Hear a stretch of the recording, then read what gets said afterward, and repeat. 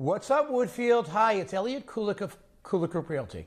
Normally, when we do these What's Up Woodfields, you know, our focus is predominantly on, you know, what's for sale, what is sold. But I want to take, and I think it's apropos, the time to really talk about being thankful. We live in one of the most amazing communities called Woodfield Country Club. And every time I look around, and I've been here over 20 years raising my family and my kids, I look around and I'm like, I cannot believe we live here. You know, you look at the club. Even the club before they renovated was amazing. Now, with what they've done to the fitness center, and they just opened the Blends Cafe, and now the, the hair salon and, and, uh, and, and the spa, and soon the new pool area and the restaurant, and then by the end of the year, or at least the end of the, uh, the, uh, the um, Woodfield year, which will be in April, they're going to be redoing the main club. I mean, who lives like this? And I, so I think we should all really be very thankful that we have the opportunity to, to, to live in a, in a place like Woodfield. Uh, one of the things our neighbors, and, and we have the most amazing neighbors in Woodfield, is Woodfield Feeds the Hungry.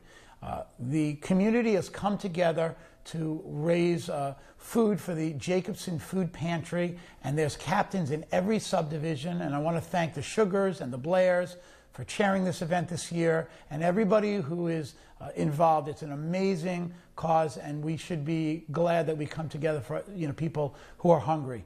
Uh, the other thing that you know, on a lighter note, what's coming up is the Gobble Gobble 5K Turkey Trot. You see it every Saturday morning after Thanksgiving. I believe it's at 8:30 in front of the Cascades Fitness Center, and uh, they do a great race. And a lot of our neighbors, the ones that can run, the ones that walk, the ones that ride bicycles uh, rollerblade. It's a great event, and I recommend. And maybe I'll make a showing this year. I've been a little chicken the last few years because I'm not the fastest runner.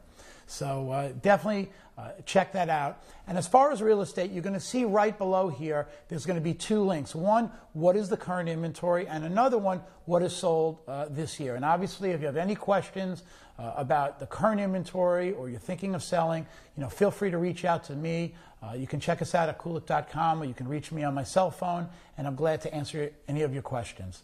So, uh, from me and, and my staff and, and Wendy and my kids, we want to wish you the, the best Thanksgiving and really be thankful for everything that we have. And just don't forget, if you see anyone with a camera, don't forget to say, What's up, Woodfield? Have a great uh, Thanksgiving, and I'll see you at the club.